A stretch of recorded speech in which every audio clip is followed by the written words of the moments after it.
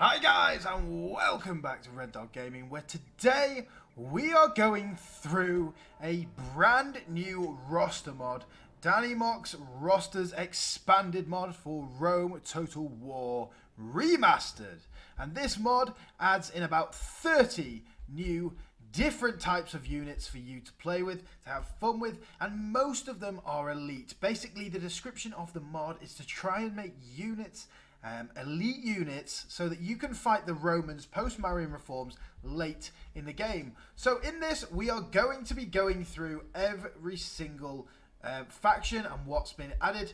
Uh, and I think there's about 30 or so new units. Um, but some of them are recolored or reskinned units from other factions. But first things first, we are Seleucia. We'll go through all the Hellenic factions first.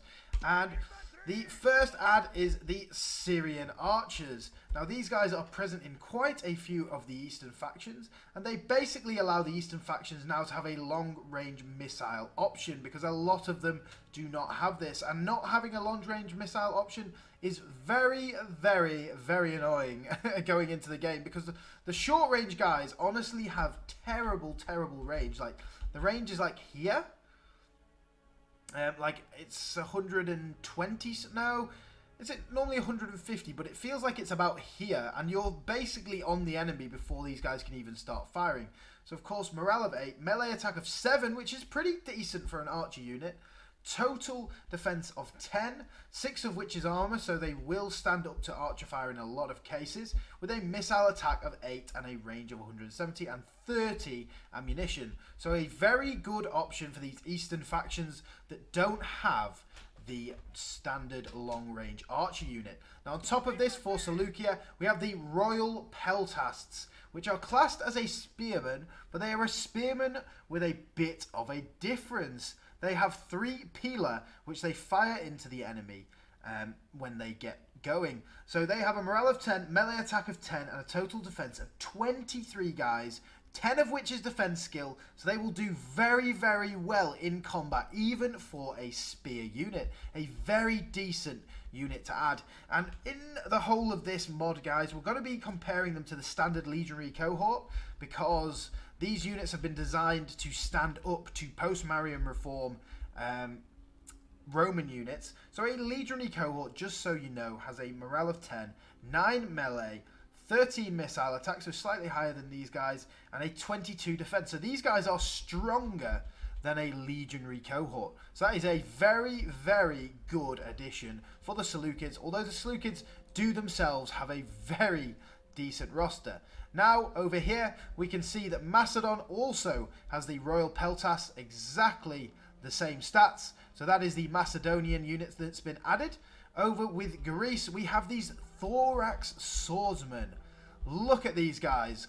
One thing to note, though, guys, with all these units, please do put them on realistic um, color scheme rather than vibrant because they have built the textures for the realistic color scheme. But look at the effort that's gone into this, guys. They look absolutely stunning. I love these guys' shields. But these Thorax Swordsmen, morale of 10, melee attack of 19, missile attack of 13 with one only one pila, though this time, and a total defense of 19. But one thing to remember, guys, with these Thorax Swordsmen, they are armor piercing with that primary weapon. So they should shred legionary cohorts, really, with their...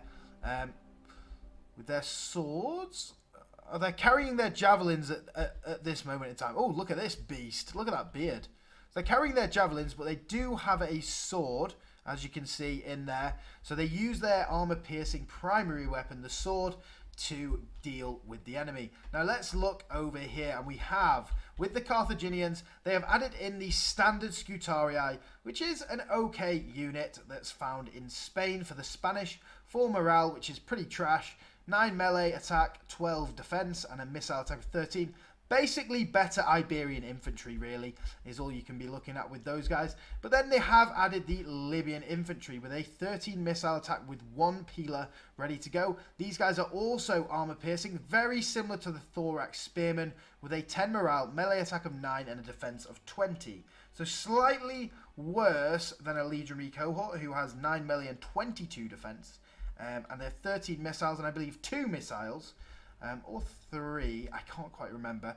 but they are definitely something that will stand up to the legionary cohorts later on in the game, at least standing up so that you can hammer and anvil them in the back. I mean, these guys and the Sacred Band should be good enough for you guys to deal with those drasted legionary cohorts later on in the game. Or you can just play Parthia and just get there before the Marian reforms happen, which we did in our Parthia campaign, uh, because horse archers are so OP. So, over to Egypt, which has the largest amount of troops added so far, guys. So we have the Scythe Chariots, which are a Pontic unit, uh, but added to the Egyptians. And the theme with Egypt is adding in Hellenic units, because obviously the Egyptians at the time were Hellenic. They were not pharaohs and ancient Egypt. But of course, the developers decided to go with ancient Egypt. I'm guessing, you know, to give a bit of variety, but of course it's not historically accurate. So you do get the Scythe Chariots, which the Pontics have, which are a great addition. 8 morale, 15 melee attack with 4 hit points. Total defense is only 1 and no armor though, so they are very susceptible to archers, guys. Always remember that. And then they've added the standard Greek cavalry to the Egyptians, although you do have good, decent light cavalry options already. So I can't see you, you know, wanting these guys over the desert cavalry or the Nile cavalry. The desert cavalry do you well enough, but a good addition nonetheless. On top of that, they also have a unit of Royal Peltas with that 12 missile attack with 3 Pila and a melee attack of 10, defense of 23. Very strong unit. And look at these guys. They look awesome. I love the design. Look at that shield. Look at the detail that went into that shield. Is that a scarab? Is that a mud beetle? That's pretty cool. Golden shields, golden helms. Very cool. On top of that, they have added phalanx pikemen into these guys as well, as well as the royal pikemen. So you get the Seleucid pike options just to add that Hellenic feel once again to Egypt, which is great. They are just recolored standard units, as you can see in the Egyptian style. Very nice. And then on top of that, they also get the Syrian archers, which we've seen before, guys. The long-range archer, archer unit. They also, obviously, Egypt also has the Pharaoh's archers, so you can choose between the two. I'm assuming the Pharaoh's archers probably slightly better than these guys, but these guys give you other options uh, to train them without, probably without a large city, I'm assuming. And then, of course, they've added in the beasts of the Hellenic uh, cavalry options, the companion cavalry. So let's get over over here, guys, to Parthia. So what have they added to my favourite nation? No, I'm joking. Seleucids are my favourite. Parthia are quite close, though. They're very good. Parthian swordsman, very similar to the Thorax swordsman. Good morale, very well armoured and can sap. The only difference is they um, they don't have an armor-piercing primary weapon. So although their me melee attack of 12 is very high, with a defense of 23, they can stand up to legionary cohorts. They don't have the pila option, and they don't have an um, armor-piercing primary weapon, so slightly weaker than the thorax swordsman. But if you want to play Parthia with some infantry, this has become an option, guys, because before there is no option to play with infantry. Hillman and Eastern Eastern infantry just are not up to scratch, and your horse archers are so OP anyway that it doesn't matter um, that you don't have infantry. But these guys can kind of make you think twice about not using any infantry in your Parthian armies. On top of that, they have the elite Persian archers. I don't know why they're called the elite because I believe they have exactly the same stats as the other guys. But once again, the Persian archer. Long-range archer option, which is sorely needed because you have long-range cavalry archers. So why would you not have long-range uh, foot archers as well? It just makes no sense that the developers didn't add a long-range foot archer option for Parthia. Um, but yes, the elite Persian archers are finally added, which is fantastic. And then they have added the Armenian heavy spearmen, which look like they're very long spears compared to what they do in the base game. So they have a phalanx formation, uh, which is great. They have bonus fighting cavalry, of course. Total defense of 17, morale of 6, uh, melee attack of 7, ult attack of 5, so you don't want these guys out of phalanx really, guys. But a 17-7 for a phalanx unit is very decent. How does that compare to, say, the Royal Pikemen? 17-10, so they're not that far off the Royal Pikemen. They're a decent unit, well armoured, good defense, good shield. So let's have a look at what they've added for Pontus, guys. So Syrian archers, once again, another archer unit, long-range archer option for Pontus, which they didn't have before. And then we have the Pontic swordsman. Very similar to the Thorax swordsman. Look at these guys. I just keep wanting to stop and just take in beautiful designs of some of these guys. They're fantastic. These guys are basically the Thorax Swordsman, but uh, reskinned for Pontus with a 22 defense, 10 armor, um, which is fantastic. 10 morale, 9 melee attack, and 13 missile attack, but only one pila. What were the Thorax Swordsmen? Yeah, the Thorax Swordsmen are slightly less armored. So the Pontic Swordsmen are actually quite decent.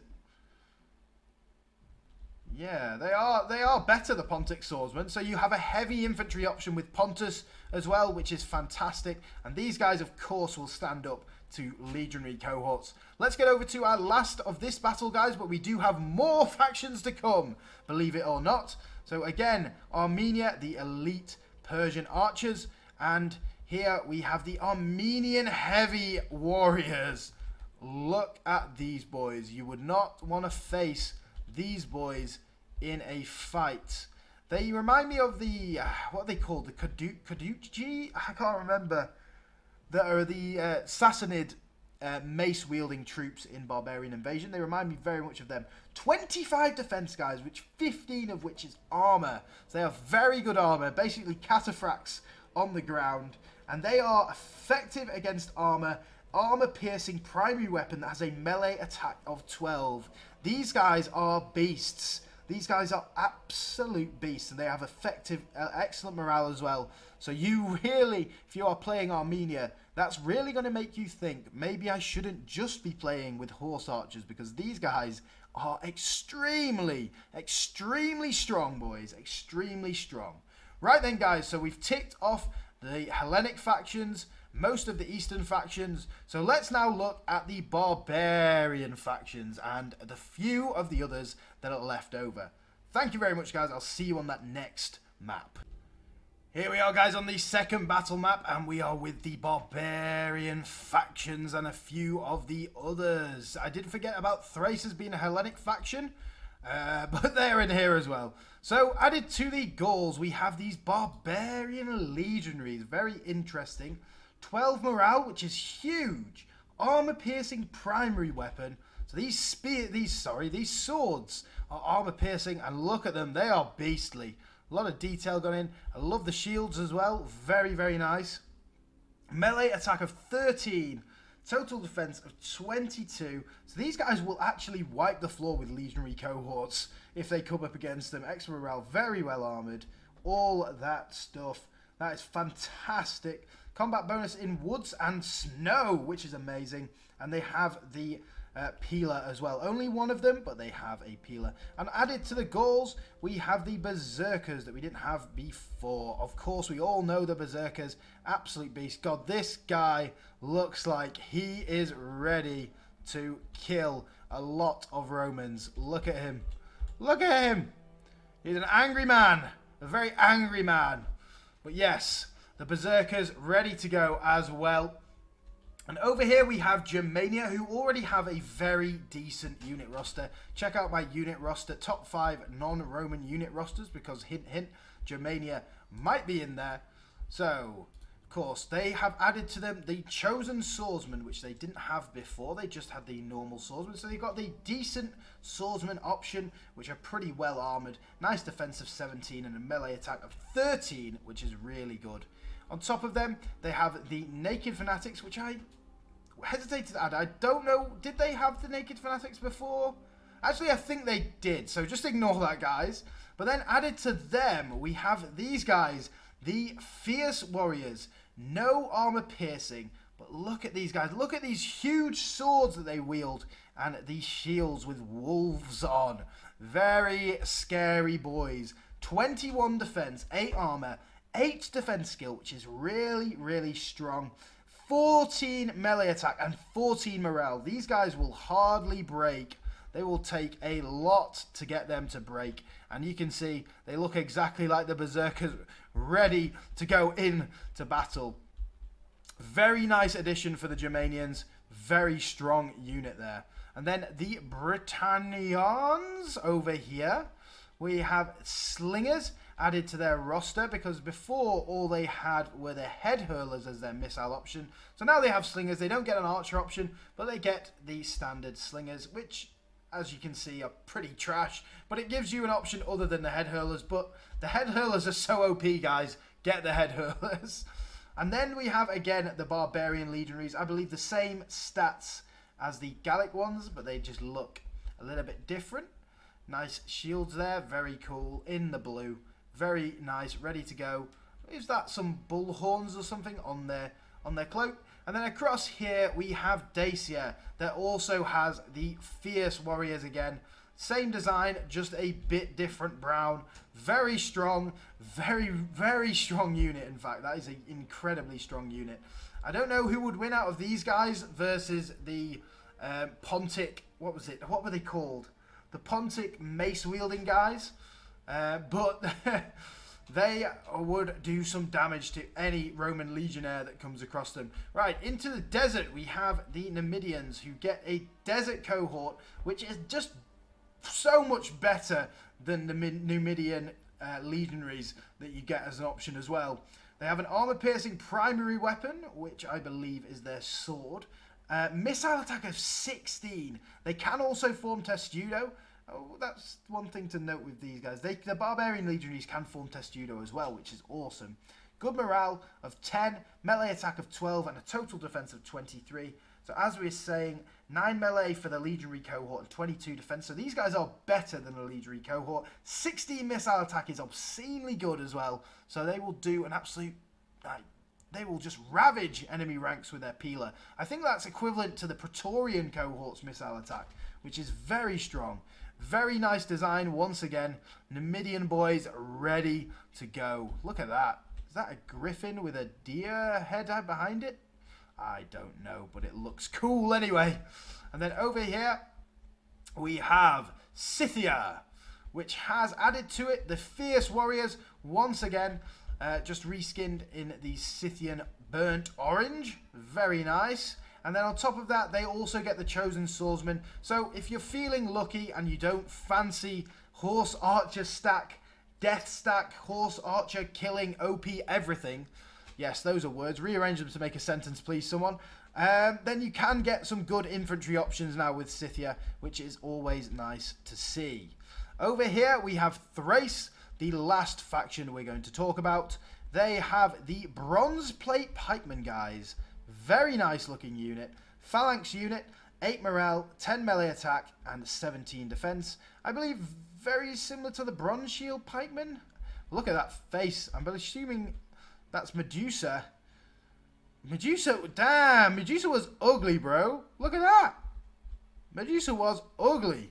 Bronze, uh, bronze plate design though, looking very, very nice. A good phalanx unit there for you. They also have the Sarissa Cavalry, which is a light cavalry unit. Only four defense, which is pretty trash, but their morale of 8 and melee attack of 8 uh, with a charge of 10 is pretty decent. So it's a very smash and grab Lancer unit ready to go. So you want to ram these guys into the back of the enemy and pull them out straight away because they will just die if they stay in melee. Because that ult, that ult attack's 8 as well, but the defensive 4 is very poor. So it's a good, decent light cavalry, very ready to go. And then, of course, added to Thrace, we have the Royal Peltas that have been added to a lot of the Hellenic factions. Kind of a legionary type unit, just with a small circular shield rather than a large square shield.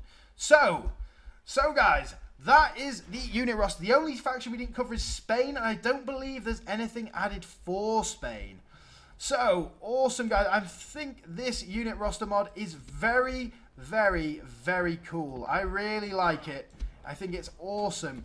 Basically means that if you're playing the Romans, you get more of a challenge later on. So, you get to experience enemy factions having some decent, better troops. Um, and on top of that, uh, if you're playing one of these factions, you get some options that are probably stronger than the Ro uh, stronger than the Roman options and can actually stand up to legionary and praetorian cohorts without just completely running away, which is awesome. So apparently these guys are running, but we're on slow-mo. Um, but yes, we're going to finish off with a little battle. So guys, Gallic Berserkers for once, with Legionary, Barbarian Legionaries. Very cool. We will win, of course. They only have three factions and a lot less troops. So we will win, but, you know, it's fine. I want you to get into those Royal Peltas. I want you to, uh, I want you to do a bit of a war cry first, though. But yes, looking at this mod, it looks amazing. Really good fun. Would like to see them add some units for Spain. Maybe add some archers to a couple of other factions. Uh, maybe the Britons. Right, you guys get in. Well, Warcry first. And then in. Yeah, they're going mad now. Fire your Javies. See, like, they, they did decent in the charge. Go on, Berserkers, let's go. Let's get in after your Javies have been thrown. Your Javies should be killing them pretty nicely. Go on, Berserkers, they're dying. But they're going mad. Wavering those Royal Peltasts. Okay, those, those guys have run. Let's get after them. Come on, Berserkers, let's go. But yeah, this mod looks awesome. Look at the uh, look at the AI. Well done, AI. Flanking a phalanx unit. But I mean, the fierce warriors, I probably would have used them to flank. Where are those royal peltas going? They're running away. But yeah, looks really cool. Get, adds an extra challenge if you're the Romans. Uh, gives you some cool units if you're not. I mean, the Hellenic factions have got a lot of love. Egypt, of course, like we've seen. Uh, had a lot of love giving it Hellenic units. So if you wanted to kind of play Hellenic Egypt, that option is there now, which is awesome. Come on, Berserkers, let's go. Okay, got them routing. Counter charge, counter charge. Oh, these poor Sarissikav, they just don't have the defense. So that's the race down. So yeah, I probably will play with this mod at some point which will be very fun. Look at these fierce, fierce warriors are doing some serious damage. Look at them. They are beastly, and they're impetuous at the minute as well. But we do have some Dacian fierce warriors coming in. Let's watch them charge. Here they go. Oh, don't ruin it. You ruined the charge, stupid thing. Stupid person. Gallic boy. Why would you do this? Look at the Berserkers, they're just so happy. They run with such such dainty abandon. Get there, we still got a Javi to go. Get there, boys. The Fierce Warriors over here. Oh, the Desert Cohorts, the Numidians as well. So we have the Barbarian Legionaries and Fierce Warriors versus these boys. Time to go. Time to get those uh, Get those uh, berserkers in there. Berserkers, no, you're running the wrong way, my boys. Stop chasing them down, come on. This is the problem with berserkers. Oh, they've not got a target nearby. They're just. I listen to them go. That's how they. That's how they. They spoke back in the day, apparently. Come on, after that desert cohort. Oh yes, we've broken this fierce warriors by this fierce warriors. Come on, the boys! This is awesome. I, I missed big Rome Total War, like little... It sounds stupid, but little battles... I used to play online a lot on this game when I was a kid. I used to have a lot of good fun playing, you know, eight-man Battle Royale, which I wish they would bring back into Total War, you know, like Battle Royales. Imagine a Napoleon Total War Battle Royale. That would be unreal. Apparently they can fire the Javies from there, which is Whoa, look at those. That's some long range, bro. Wow. That is it. Well done, my lovely Berserkers and Barbarian Legionaries. Um, no, we won't do that, advisor, but thank you for your advice. So guys, let me know what you think of this mod in the description down below. I think it's awesome. It's great, adding a load more units into the game, which is fantastic ready to go for uh, versus the Romans or for yourself or as the Romans against them. Really cool units. Um, adding those elite, elite tier units into the game, which is fantastic. Let me know what you guys think. Please do like, subscribe, all that good stuff, guys. It really helps the channel out. So thank you very much for watching, and I'll see you again in the next video.